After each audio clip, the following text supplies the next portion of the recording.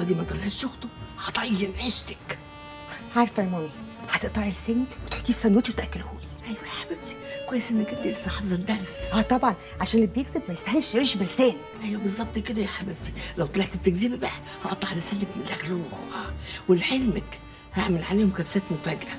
لو لقيته مقرب منها قوي ولا حاضنها ولا حاجة هطربق الدنيا على دماغك ودماغهم. ما بحبش حد يقرطصني ابدا. عارفة يا ماما خلاص؟ حضر العشاء؟ هموت من الجوع. ما اكلتش ليه في الميدان يا حبيبتي؟ ما هم بيوزعوا عليكم هناك وجبات مشوية. عارفة لو الثورة دي فشلت الشعب كله هو اللي هتشوي بتبرطمي تقولي إيه؟ ولا حاجة تعالى ده شيل الأكل ده افرشي الجرارين تحته. لحسن يوسخوا المطرش زي ما عملوا المقاطيع بتوعك المرة اللي فاتت. حاضر.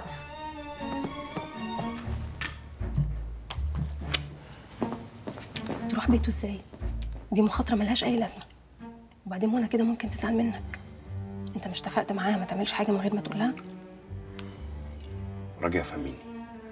منى عمرها ما هتحس باللي أنا وأنت حاسين بيه. أنا متأكد إن هي كانت بتحب أحمد. بس عمرها ما هتحبه قد أخوه ومراته. عشان كده كل خطوة عايزانا نمشيها قانوني وشرعي وسلمية سلمية وجو الهجايز ده. واللي زي هيثم مش هينفع معاه الكلام ده خالص. أيوه بس حكاية سلمية دي مش هجصة خالص. أنا كنت فاكرة كده زمان. أنا وأحمد وشباب كتير معانا. بس الثورة غيرت تفكيرنا كلنا. أنا معايا فيديو كنت صورته لأحمد الله يرحمه ليلة استشهاده. كان بيتكلم فيه عن الموضوع ده تحديدا. عايزه أديهولك تشوفه. واضح إن أنت فهمتيني غلط. أنا ما بتكلمش على الثورة بشكل عام. أنا بتكلم على هيثم واللي زيه. هيثم ده ما يعرفش غير لغة القوة. والقانون مش هيجيب معاه أي حاجة. طب هنعمل إيه يعني؟ هنغتاله مش لما نوصل له الأول. الموضوع مش سهل قوي كده. مين قال لك إن واحد زي هيثم ده مش عامل حسابه كويس جدا؟ ومأمن نفسه وحاطط حراسة تحت بيته. وأول ما نروح له هيبقى فخ عشان يقبض عليك. ده إذا كان قاعد في بيته أصلا. أكيد هيثم بعد ما الثورة قامت خد مراته وعياله وقعد في حتة تانية خالص. خصوصا بعد ما عرف إن أنا هربت وإن أحمد استشهد الله يرحمه. اوعي تكوني فاكره إن هيثم ده نايم على ودانه. ده مصحصح. مصحصح قوي كمان. طيب يبقى تروح له بنفسك ليه؟ اديني الظرف اللي أنت عايزه يوصل له وأنا هوديه. لا. أنا عايزه يعرف إن أنا بدور عليه بنفسي. هو أكيد عارف إن أنا هوصل له عن طريقك. مش محتاجة فقاقة يعني. أنا عايزه يستفز ويخرج من الجحر اللي هو مستخبي فيه ده. بالطريقة دي أقدر أمسك عليه أي غلطة. وبعدين مش أحسن ما أنا قاعد كده حاطط إيدي على خدي مستني النظام يسقط. اللي هو في المشمش يعني. أنت لسه متشائم. قصدك واقعي. تصدق إن أنا ما شفتش هيثم ده لحد النهارده. آه صحيح. ما انت كان بيتحقق معاك وانت متغمي. أنا آسف في السؤال. ما عندكيش أي صور ليه؟ سؤال يستحق الأسف فعلا. لا طبعا ما عنديش. بس شامل أخويا عنده صور كتير ليهم مع بعض. هجيب لك واحدة حاضر. دي حاجة. الحاجة التانية عايزك تساعديني إن أجيب حتة سلاح. سلاح؟ ليه؟ هو إيه اللي ليه يا راجل؟ عايزين اطرد واحد زي هيثم بايديها فاضية؟ بص بقى أنا معاك إنك ما تقعدش تستنى إزاي ممكن نوصل له بالقانون لكن الموضوع ما يوصلش لدرجة السلاح يعني. يلا العشاء جاهز. الله أكبر. إيه خضيتك أنا آسفة. أنا أنا آسفة قوي إني ان قطعت عليكم خلوتكم بس العشاء جاهز. وقلت يعني تاكلوا بسرعة عشان البنتين هيجوا يشرفوني في أوضتي ويناموا معايا.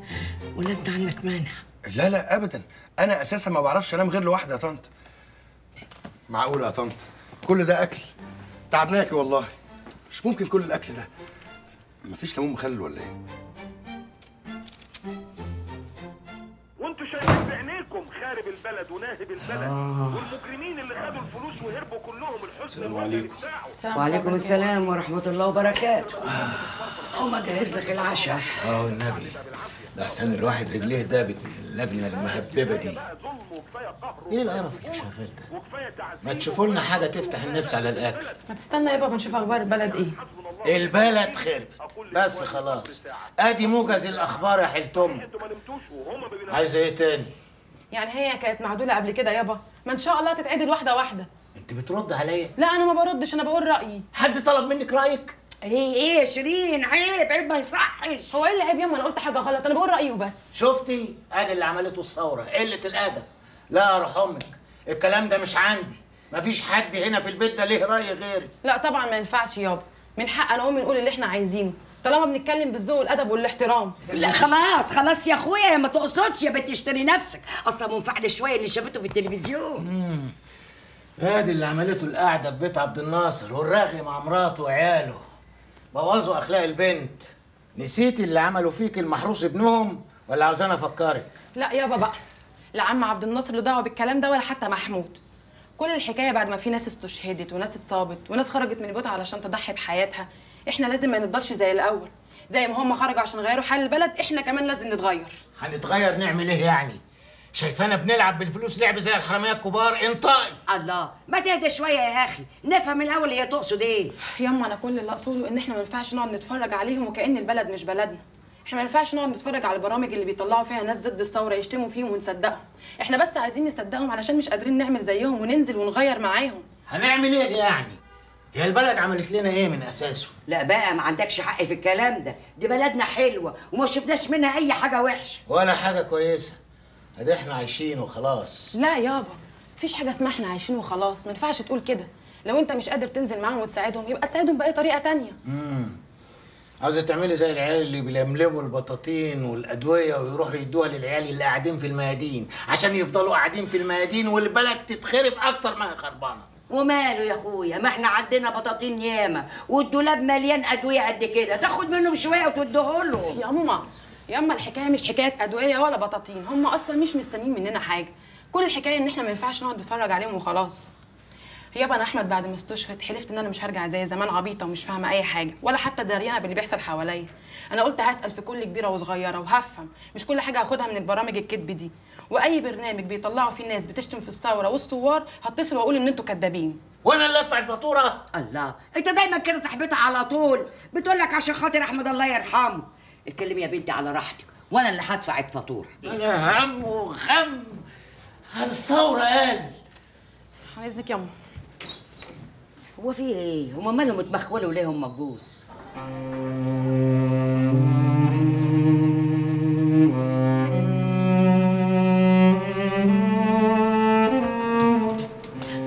ماما يا حاسبي حاسبي ما تخافيش يا حبيبتي أنا كويس.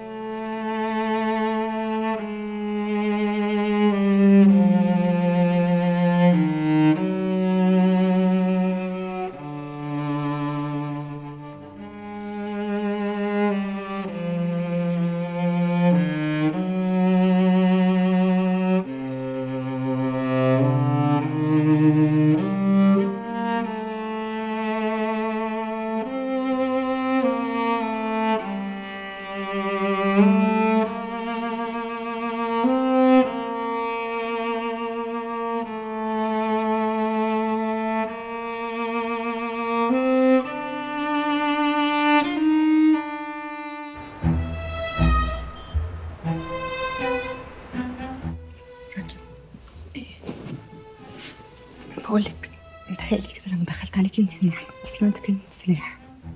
أنتوا كنتوا بتتكلموا عن إيه؟ جيتي لحد تلميذ يعني يا منى.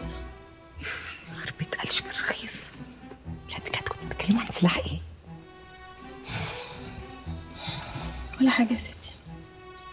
كنت بحكي له على الفيديو اللي صورته لأحمد الله يرحمه ليلة استشهاده.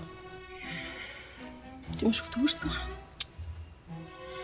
كان بيتكلم فيه عن الثورة وعن سلمية الثورة.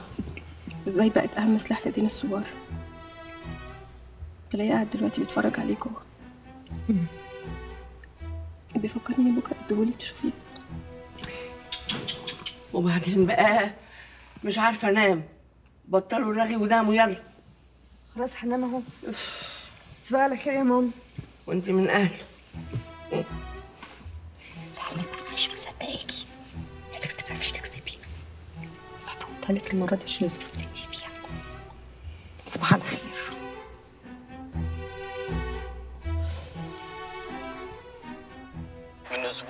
كنت سمعت حد من العيال دي بيقول كلمة سلمية؟ كان سمع مني كلام قبيح قوي.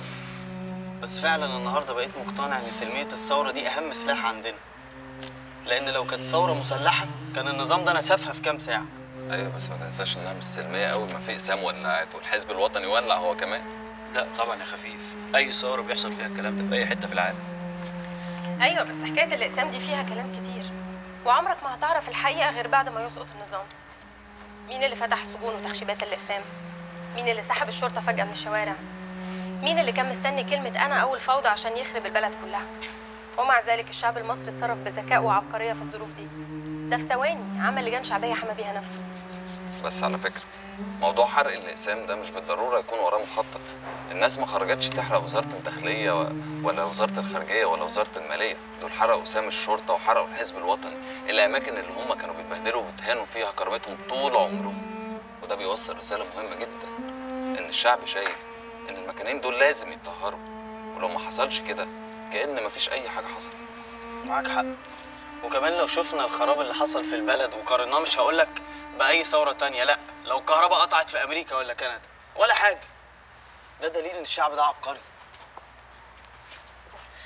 كان معكم أحمد السلمي عبد الناصر سابقا اللي كان بيؤمن من أسبوع واحد بس إن البلد دي عشان تتغير لازم نولع فيها هي وكل اللي فيها. أنا هنزلك الفيديو ده بكرة على اليوتيوب واكتب عنوان الفيديو الذي هز الملايين وأبكى كل من شاهده. مقطع مؤثر. أحمد مش هيكفيني الفكرة قبلك. اقفلي اقفلي يلا يا جماعة. تعالوا نغنوا ولا حاجة. يلا نغني حاح آه. نحن والدار له صحاب و11 باب. غير السراديب وبحور الديب. والمقرة تنادي. وتقول يا ولادي. مامي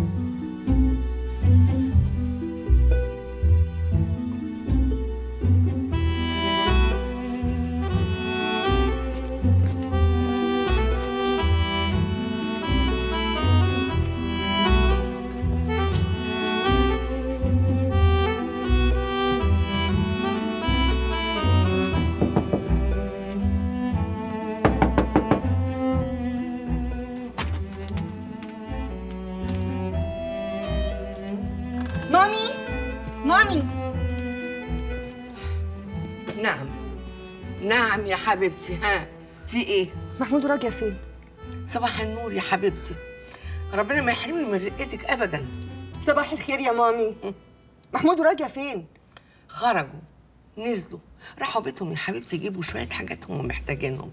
قبل الليل ما يليل وقبل البلطجية يعني ما يهجموا تاني. بلطجية إيه بس؟ لا أنا كده مش مش مبسوطة ابدا. في إيه؟ مالك يا حبيبتي؟ قلقانة ليه؟ ها؟ كنت منعهم يخرجوا من البيت ولا حاجة؟ خالص. طب قولي لي بس في إيه؟ أصل أنا مناخير الصغنونة دي شامة كده ريحة حاجة غلط. لا يا حبيبتي سلامة مناخيرك الصغنطوطة. بقول لك إيه؟ محتاجينها في المطبخ ها؟ إيه يا مامي؟ عادي يعني قلقانة عليهم. يعني خايفة يروحوا يتعرضوا لأي موقف مبقاش معاهم. أصل هم عزاز عليا جدا على فكرة. هتصل اطمن عليهم. طب أقول لك إيه؟ روحي بعيد شوية عشان ما اسمعش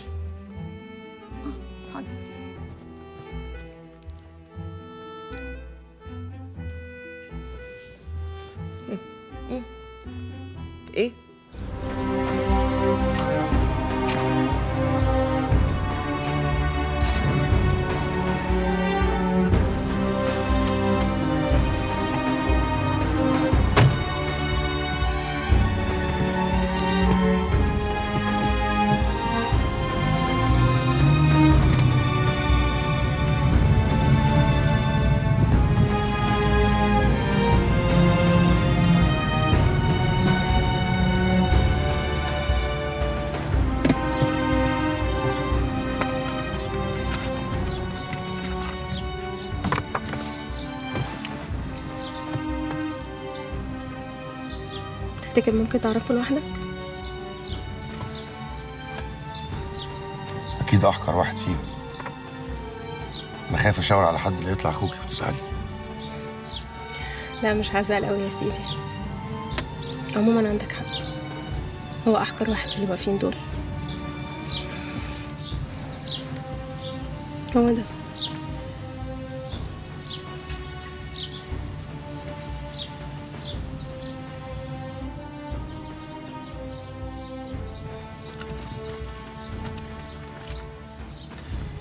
طبنجة مرخصة بتاعت أخويا. كويس إن الثورة ما غيرتش لونه التقيل مش عايزة أوصيك بقى تخلي بالك منها. هو كده كده مش هيعرف يبلغ عن اختفائها. بس يعني يهمني إن أنا أرجعها له. ولو إني مش عارفة أنت هتستخدمها في إيه بس أنا متأكدة إنك هتعمل اللي أنت شايفه صح. كتر ألف خيرك. جدع مرات جدع. دي أكيد منى. ده أنا من كتر مكالماتها قفلت الموبايل. أنا لازم أرد عليها. كلمتني كذا مرة وما ردتش. آه يا منى. أه بالراحة يا منى بس بالراحة. أنا مع راجل. مفيش نسيت شوية حاجات في البيت عندها فنزلت معاها. إحنا جايين لك على البيت حالا. يا ستي حاضر مش هتحرك تاني غير لما أقول لك. ولو إني مش مرتاح للموضوع ده يعني بس ماشي. إحنا جايين لك على البيت. على المكتب؟ طيب ساعة وهنبقى عندك. سلام. ما صدقتكش طبعا. طبعا. دي مش بعيد تفتشنا تفتيش ذاتي. بقول لك إيه إحنا ساعة ولازم نقابلها في المكتب. هنقعد مع الصحفي ده اللي هي قالت لي عليه اسمه أنا نسيت اسمه. اسمه عمر شاهين. عمر شاهين. بس هنطلع الأول على المشوار بتاعنا.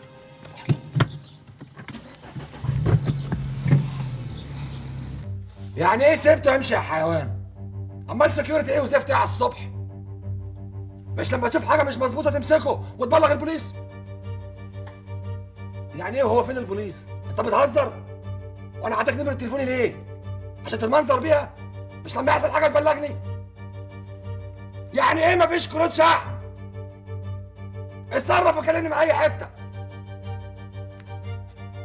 افتح الظرف شوف كده وقول لي فيه إيه. نعم. خايف على أمك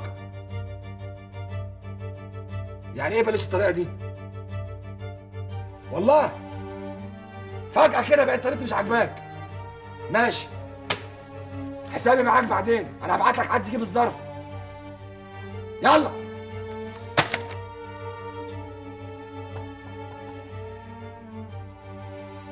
اتفضل يا سيدي.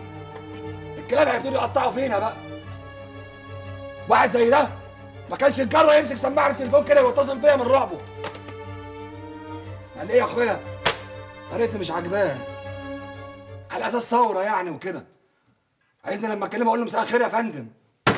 معلش يا فندم بس هدي أعصابك الأول كده وفهمني حضرتك اتوترت ليه. اتوترت؟ وأنا اتوتر من حركات تافهة زي دي. معلش برضه يا فندم حضرتك ممكن تفهمني حركات إيه؟ بقول لك واحد شكله مريب راح عند البيت عندي. سأل عليا.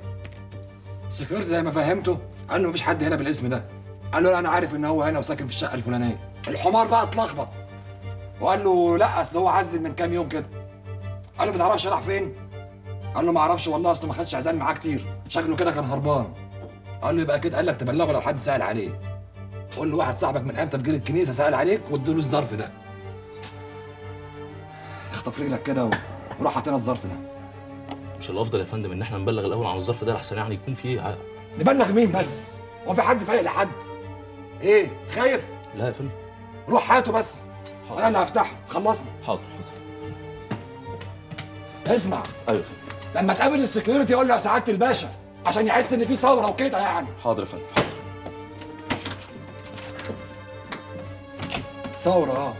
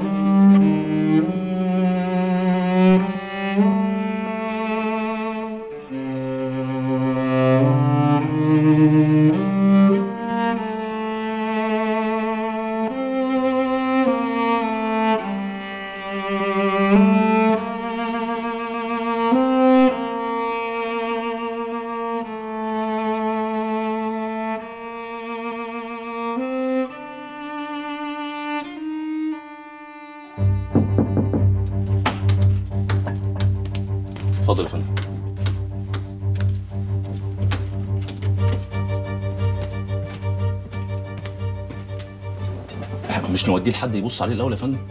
ليه يعني؟ هيكون حاطط فيه بنص جنيه ديناميت؟ استنى أما نشوف آخر حركات الهبل دي إيه؟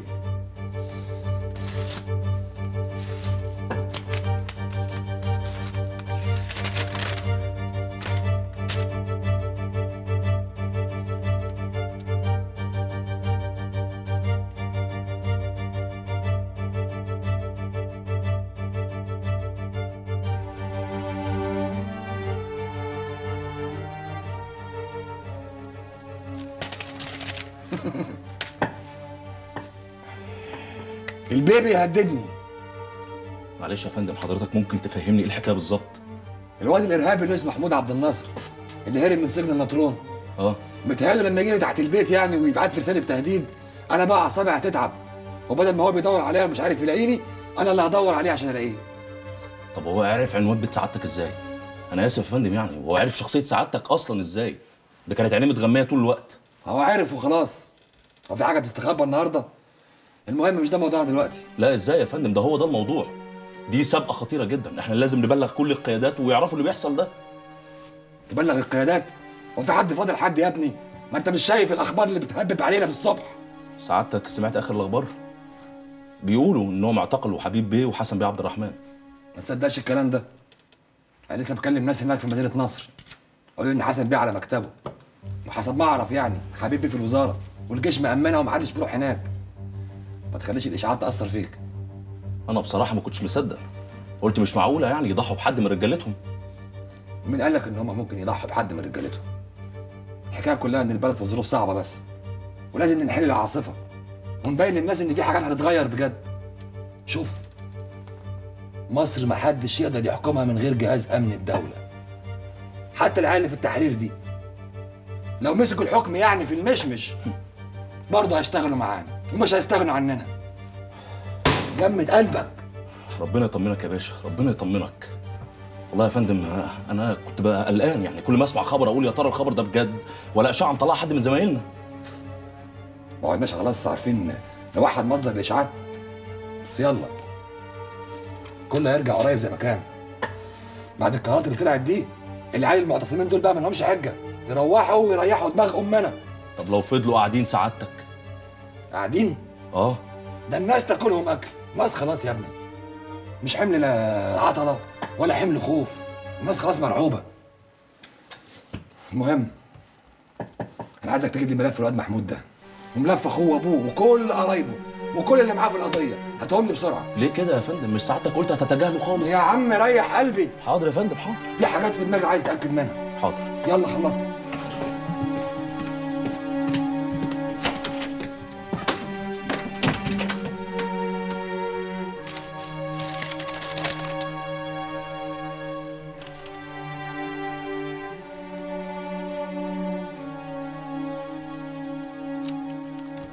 بس يا سيدي آدي حكايتي بالتفصيل الممل ما يتهيأليش نسيت حاجة ها؟ بكرة لما النظام ده يسقط وتتفتح كل ملفاته التاريخ هيفقد النطق من المخازن اللي المفروض يكتبها. الله يطمنك. أنا لسه هستنى التاريخ لما يكتب قصتي. أنا ما أقصدش. طبعا أنت مستني مني إن المفروض أقول لك على طول رأيي في اللي المفروض تعمله. تخلينيش أقول لك جبتك يا عبد المعين. طب عايز نقول لك الحق ولا ابن عمه؟ الاتنين مالهمش لازمة في البلد دي. هات اللي يطلع من ضميرك. مبدئيا ما تحملش هم المكان اللي هتقعد فيه لأنك أنت هتطلع من هنا على شقتي. أنا يا سيدي قاعد لوحدي وشقتي فاضية وأغلب الأوقات في مصر.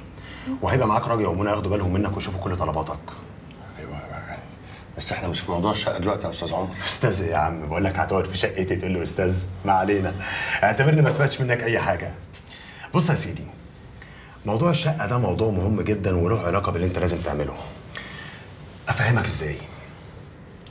شوف قصتك بكل الظلم اللي فيها. هتفضل مجرد قصة طول ما النظام ده موجود. يبقى لازم أسمع كلامك بقى وأستنى التاريخ لما يكتب قصتي. بيقول لك النظام موجود. أنت شفت فيلم جوراسيك بارك؟ ها؟ شفت فيلم جوراسيك بارك؟ ده اللي هيحل لي مشكلتي؟ شفت الديناصور الضخم وهو بيطخ؟ شفت ابوها كده ومفرفر بايديه كده مغفل له 20 30 واحد مموتهم ولا بإيده قوم مطير له كام عربية؟ لكن في الأول وفي الآخر هيقع هيقع. مش بقول لك الله يطمنك. قول بقى يا رب الديناصور ده ما يلوشنيش أنا بديله وهو بيقع. هي دي بقى الفكرة في إنك لازم طول الفترة اللي جاية دي تكن تماما وتبعد عن أي مغامرات من أي نوع. إيه بتبصلي ليه؟ طب والله العظيم ما قلت له أي حاجة هو لقطها لوحده. طبعا. وسيبك من جزء السجن لأن ده هشتغل عليه أول ما هوصل مصر. أنا ليا كذا حد من زمايلي بيجمع داتا عن اللي حصل بالنسبة لملف السجون وخصوصا سجن وادي النطرون وسجن القطة. وطبعا أنت سمعت عن اللي حصل للي هو محمد البطران الله يرحمه. يرحمه. لما نجمع أكبر تفاصيل ممكنة عن ملف السجون هيبقى شهادتك مهمة جدا. بس الأهم من ده بقى هو قصتك مع أمن الدولة. ده حتى بعد سقوط النظام. لازم يكون لها شهادتين. شهادة الجرع بتاع طنطا اللي اختفى والجرع بتاع الصعيد. إذا كان فضل عايش لحد دلوقتي. لغاية ما نتأكد انه مات هيفضل عايش. إن شاء الله حتى يا سيدي ننزل ندور عليه في المكان اللي أنتوا سبتوا بعض فيه. ده غير كمان عن طريق المحرر العسكري اللي عندي في الجرنان وهقلب لك عليهم الدنيا في كشوفات المساجين المصابين اللي الجيش قبض عليهم. يا رب بس يقول اسمه الحقيقي المرة دي. بص يا محمود هي مش حاجة سهلة بس مش مستحيلة. بس أهم حاجة بقى إن لحد ما نلاقي أي حد فيهم أنت ما تختفيش. لأن أنت ممكن يتقبض عليك. مش هيثم بيحاول يصفيك. إيه؟ مستغرب ليه؟ أكتر واحد قلقان دلوقتي هو هيثم. لأنه لما النظام ده يسقط ودي مسألة وقت وزي ما أنا مصر وهتثبت لك الأيام كلامي هيبقى مطلوب منه لما يتواجه بالاتهامات قدام القضاء إنه يرد عليها. عشان كده الأسهل بالنسبة له إنه يخلص عليك. زي ما خلص على إسماعيل. ما قلنا طالما ما شفناش جثة ما نسبقش الأحداث. إحنا نعمل اللي علينا وما ندلوش أي فرصة إن هو يوصل لك. أنتوا بتبصوا لبعض ليه؟ على فكرة بقى أنا قادر مش مطمن من حكاية خروجة الصبح دي. وراها مصيبة يا راجع لا خالص والله ده أنا لسه كنت بقول له الكلام ده الصبح وإحنا بنفطر. لازم ما يديش فرصة لهيثم إن هو يأذيه ابدا. وإلا حق أحمد هيبقى ده عذر. بتاع التلفزيون بسرعة. قبض على حبيب العدل كل القضايا الداخليه محمود أمر بحبس حبيب العدل عن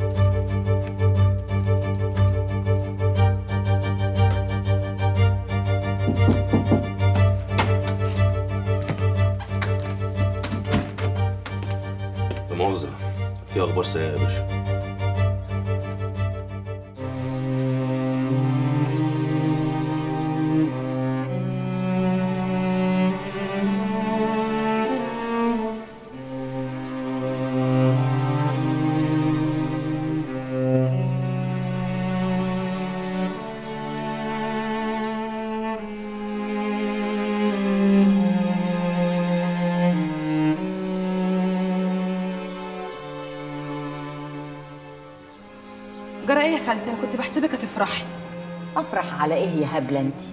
استغفر الله العظيم. هتخليني أغلط ليه بس في بيت ربنا؟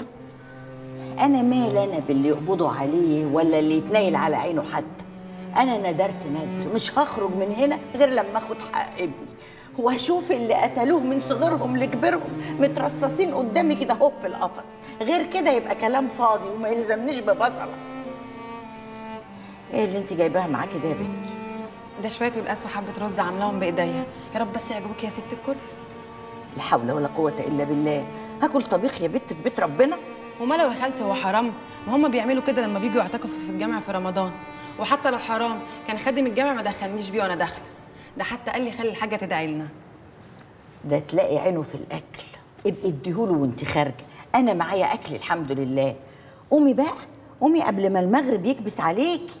ماشي يا خالتي متشكرة. بس أنا برضك كل ما أعمل لك الأكل بإيدي واجيبه لك لحد عندك تاكليه شحاتين انت حره سلام عليكم. استني يا بت. قولي لي السلق المرة دي ظبط معاكي في القلقاس ولا فطحانة زي كل مرة؟ جربي بنفسك. استغفر الله العظيم. والله الواحد مكسوف من نفسه. لكن نعمل إيه بقى؟ ما هو لازم نتقوت عشان طاعة ربنا. قدرني يا رب. بجد؟ حلو المعلومات ديت. ماشي ماشي. يلا سلام. سلام. يلا باي.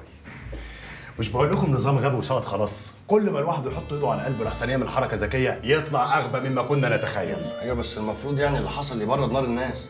مين كان يصدق إن الرئيس هيستغنى عن حبيب العدلي بعد ما خدمه السنين دي كلها؟ ما هي دي الغباوة. ده ما هنش عليه حتى اللي في وقت زي ده راح يبوظ جنه. أكيد طبعا عشان شال عليه بلاوي. ده بعد خبر الاعتقال ما طلع والناس فرحت بيه طلعوه نفق وقال لك لا دي تحديد إقامة جبرية. فاللي كسبوه من هنا راح من هنا. طب تفتكر الحوار اللي هيعمله عمر سلمان مع المعارضة بكرة هينجح؟ معارضة مين يا ابني؟ آه قصدك المعارضة اللي بتقبض من النظام وبتاخد أوامرها من أمن الدولة على التليفون. والنبي عمركم سمعتوا عن حد بيعمل حوار مع دراعه؟ أيوه بس بيقول لك الإخوان رايحين. طبعا هيروحوا عشان ياخدوا شرعية ودول ما هيصدقوا. بس مين قال لك إن هم هيفرقوا مع اللي في الميدان؟ دي برضه غلطة النظام بيقع فيها. ده في ناس مفهمة النظام إن اللي بيحصل ده وراه الإخوان مع إنهم كانوا رافضين ينزلوا يوم 25 وما نزلوش غير يوم 28 زيهم زي باقي الشعب.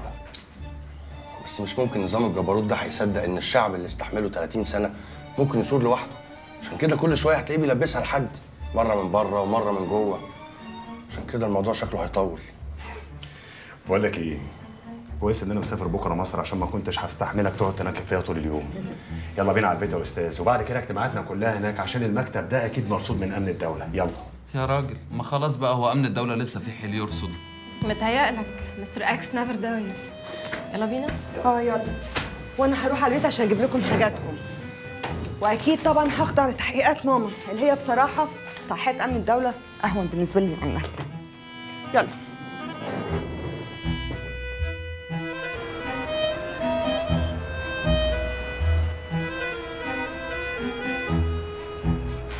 اتفضلوا. اتفضلوا. نورتوني والله. اتفضل يا حوده نورتني الله يخليك نورتوني والله.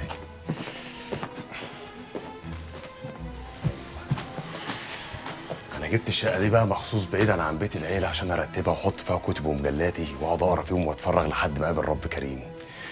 بقول لكم إيه أنا عاوزكم تعيشوا وتتعاملوا محدش يحسسني إن هو مكسوف. ولا يا حودة دولابي تحت أمرك. انتش محتاج أي عزومة يعني تعامل ماشي؟ الله يخليك يا عمر. ربنا يخليك. بقول لكم إيه أنا عندي شوية فراخ ولحمة في الفريزر هطلعهم يفكم وأول ما منى ما تيجي نخش المطبخ كده يا جماعة ونعمل وليمة على شرف محمود تمام؟ ثواني. وده شادي؟ ساعدني كده لحظة. قدم لهم كده. هطلع بس الفرخة بس من الفريزر تفك.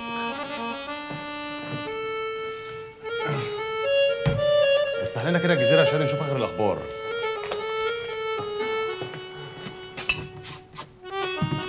الانفجار الذي شب في خط الغاز الرئيسي بمنطقة جنوب العريش هو الآن هلت البشاير هم اللي عملوه ها؟ مش بعيد. بس سواء هم أو مش هم الرسالة اللي عاوزين يوصلوها للناس يقول لك شفتوا؟ مش قلنا لكم يا أنا الفوضى؟ وقبل ما تقول له شفت لسه المشوار طويل الكلام ده ما عادش ياكل مع الناس ببصلة. وبكرة تشوف.